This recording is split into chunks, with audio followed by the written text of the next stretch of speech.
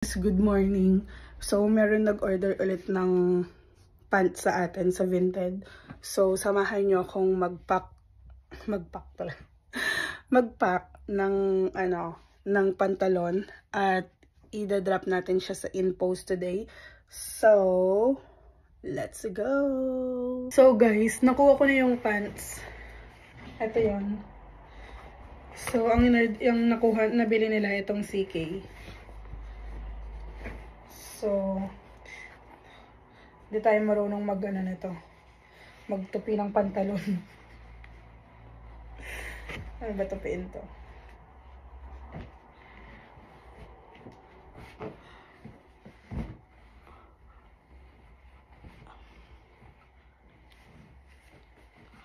So, ayan. Natupi ko na siya.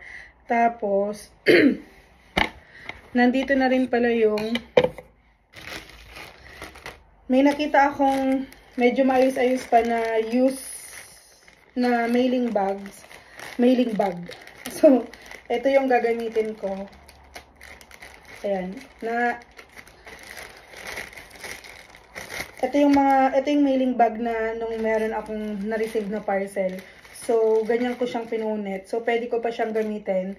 And then, ma-scotch tape na lang natin siya. Pero meron naman akong mga bago. Ito. Pero, syempre, no, kailangan natin maging resourceful. Kung pe, pwede pa naman itong, pan, itong ano na to, um, plastic na to, itong mailing bag, gagamitin ko. Kasi, sayang naman. So, ayan, no, kasya naman siya. Tapos, yung code pala nito, guys, kailangan ko siyang i-print. So, yung printer, naka-switch on na. Ano ba to? Ganyan. So, yung printer, sinwitch on ko na. So, ipiprint ko yung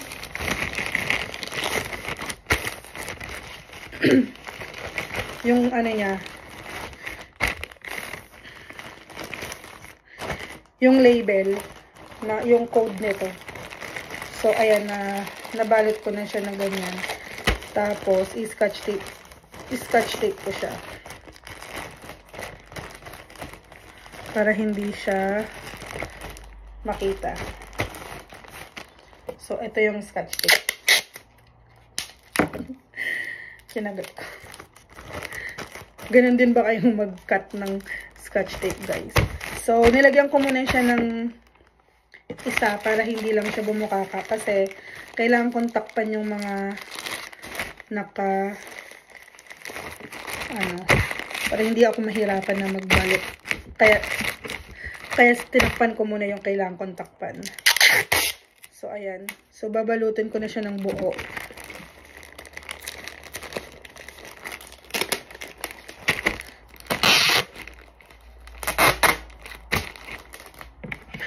May scissor naman ako, guys.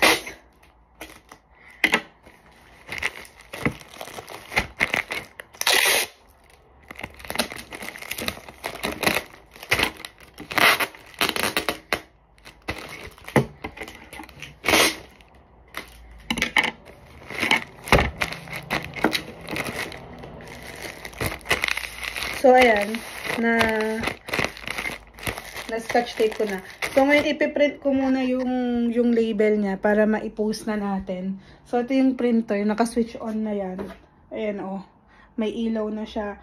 Kaya lang yung code ko nasa cellphone. So, kailangan ko munang patayin tong video na to guys para ma-print ko. Update ko na lang kayo. So, ayan guys, nagpe-print na.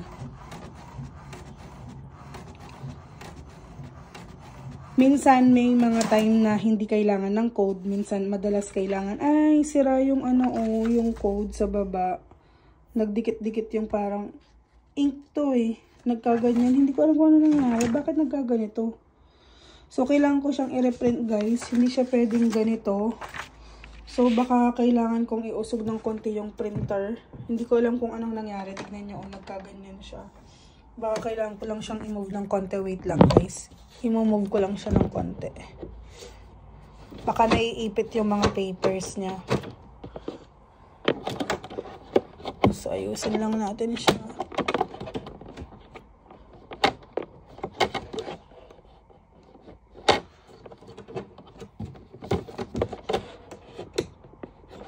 So, ayan. So, ipiprint ko ulit guys. Hindi ko alam kung anong nangyari kasi hindi siya pa pwede na ganito. So, wait lang guys. So, ayan guys, inulit ko. Sana naman ma-print ng maayos, no? Kasi sayang yung ink. Hindi ko alam kung anong nangyari dito sa una eh.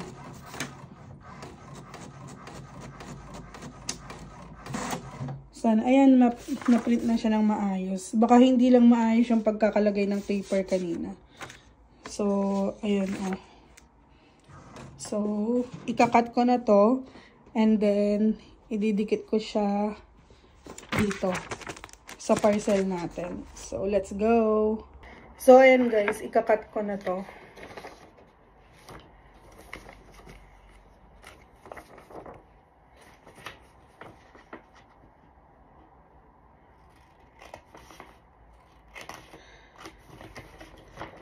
Malaking tulong guys yung printer na binili ng asawa ko kasi nga ang tawag dito, mahal ang pagpiprint dito tulad ng sabi ko noon, tig 280 per page. Napakamahal na yun guys. Kung iisipin nyo magkano na yun sa Pilipinas. Kung 70 ang palitan, so 70 times 2, 140.80 pa. Siguro mga nasa 150 pesos to 160 pesos ang per page dito guys. At colored yun ha. At isang peraso lang yun ng A4. So, ayan. Kaya, malaking tulong talaga tong printer na binili ng asawa ko sa akin. Kasi nakakapag napiprint ko nga tong ito na maayos. Ay, mali, mali, mali. Tignan nyo. Sa pagmamadali ko, na, nakat ko, nakat ko ng buo. Mali pala. Kailangan pala ako nag, nagtira ng konti.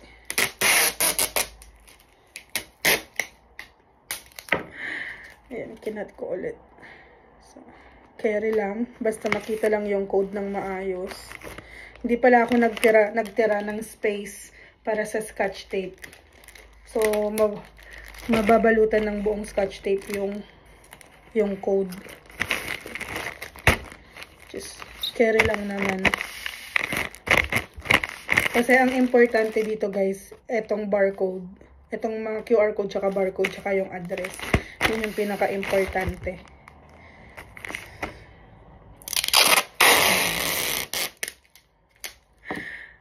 Kinat ko ulit. Hindi ko kasi siya maano nang maayos sa ano eh. Sa gunting.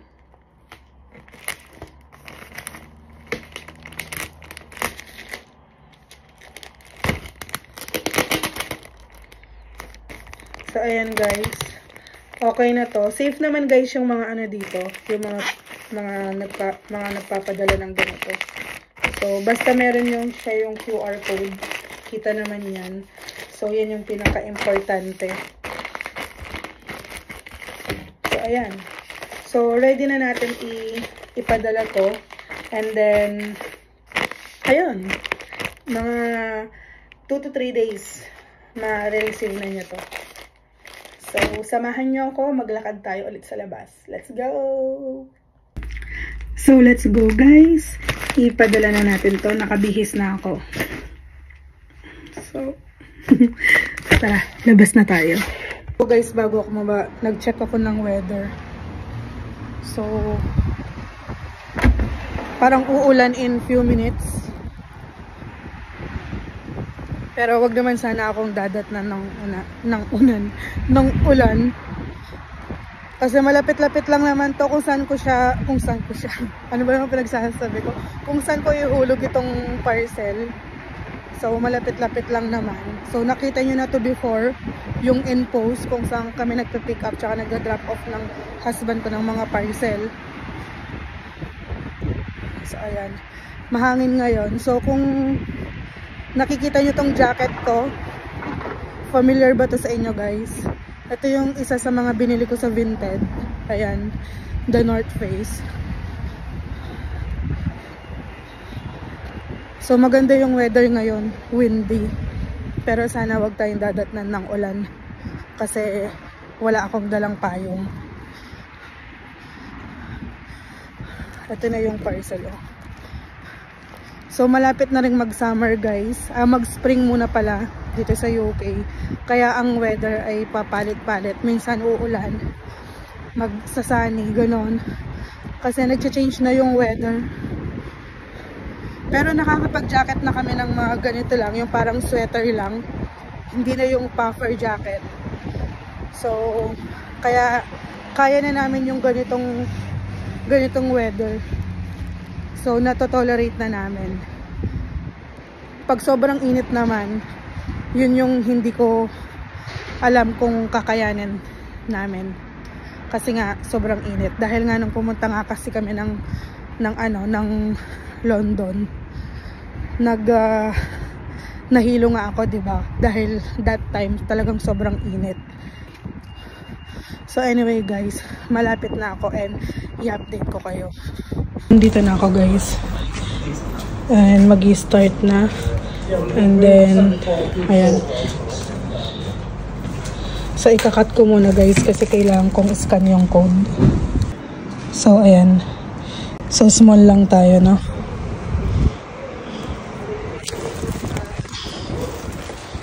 So, ganyan lang guys. Ganyan lang kadali. Tapos, ilalagay mo na siya dito sa loob.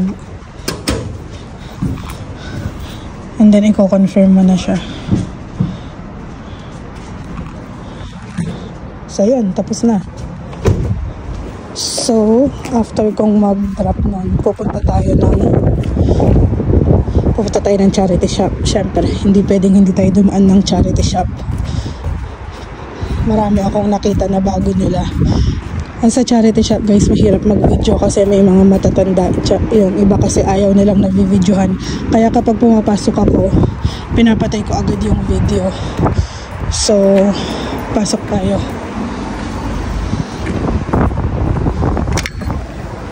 Lumabas na ako ng charity shop guys. Pauwi na ako. So, ayun. Pagdating sa bahay, gagawin ko yung dessert na gusto ko na nakita ko sa Instagram.